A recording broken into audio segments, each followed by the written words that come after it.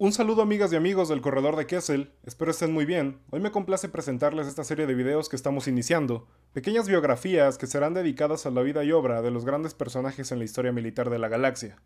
Aquellos que trascendieron en los registros como grandes líderes y guerreros, además de sus victorias o importancia en las guerras que pelearon. Hoy comenzamos repasando la vida y obra de un favorito del fandom, y un personaje recurrente de la serie de Clone Wars del año 2008. Hablo del famoso almirante Wolf Yularen, sin más, comencemos. Vida temprana y entrenamiento militar. Wolf Yularen nació en el planeta Anaxes, hijo de uno de los almirantes más importantes de la República para ese entonces, Tul Yularen. Desde niño, sentía el peso que significaba llevar su apellido y que tenía que seguir el legado militar de su padre. Sin embargo, era algo que no le disgustaba en absoluto.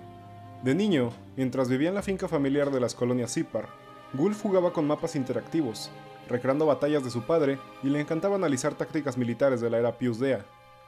Por su apellido y la posición de su padre en las fuerzas judiciales, Gulf pudo haber entrado sin ningún problema con ellos.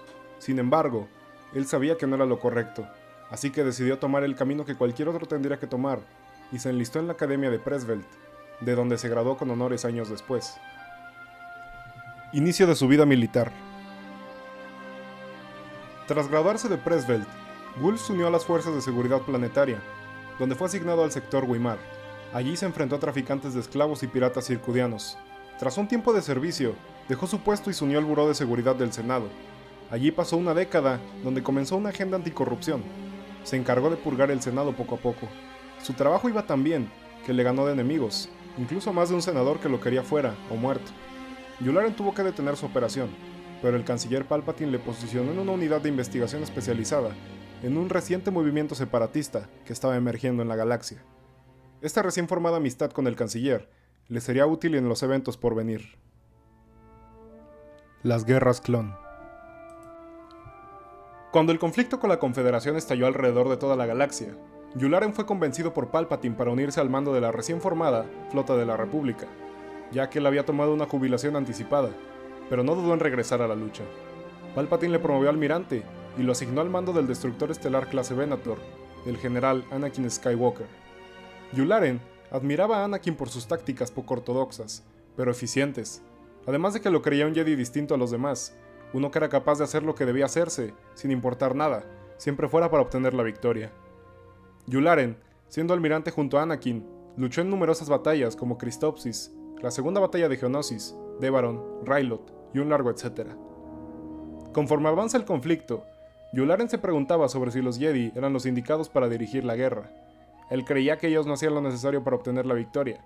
Este pensamiento hacia los Jedi hizo que viera con buenos ojos la eliminación de estos en la Orden 66, y el nuevo imperio que ascendió tras la guerra. El ascenso del imperio y el final de su vida. Tras el final de la guerra y la implementación del nuevo orden del emperador Palpatine, Yularen decidió que era lo mejor alejarse de las tareas de la Marina Imperial y se cambió al Buró de Seguridad Imperial, de donde reabrió su agenda anticorrupción para purgar el Senado. Así eliminaría cualquier acción que pusiera en riesgo al imperio, además de volverse uno de los oficiales más respetados, y que aún cazaba los restos de los separatistas. En sus últimos días, Yularen se ganó una promoción donde fue trasladado a la Estrella de la Muerte. Allí fue donde pasó sus últimos momentos. Conoció su final en la batalla de Yavin, cuando la estación finalmente fue destruida por la Alianza Rebelde. Legado. Sin duda, Yularen fue uno de los mejores almirantes de la República, y llevó una vida militar ejemplar. Su final no fue el mejor. Sin embargo, las circunstancias lo llevaron a esto. La historia le recordará como el almirante que peleó con Anakin Skywalker, el héroe de las guerras clon.